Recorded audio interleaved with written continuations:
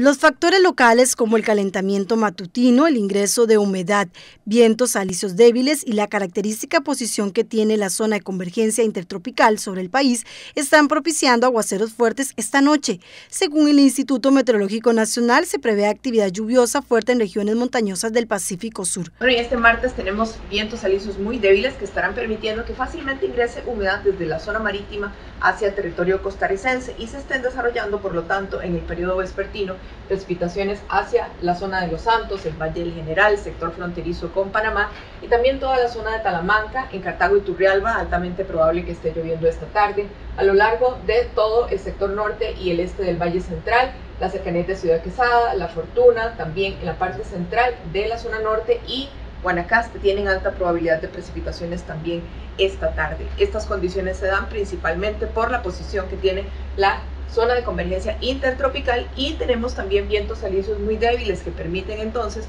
que toda esta humedad se vaya hacia dentro y interaccione con toda la cordillera que atraviesa nuestro país y se estén generando también precipitaciones a lo largo de la misma. Además, en el Pacífico Sur se incrementan los niveles de saturación en los suelos por lluvias recientes. Por eso se recomienda cautela en zonas de vulnerabilidad e inundaciones por saturación, de alcantarillado y desbordamiento de quebradas, precaución ante tormenta eléctrica y recomienda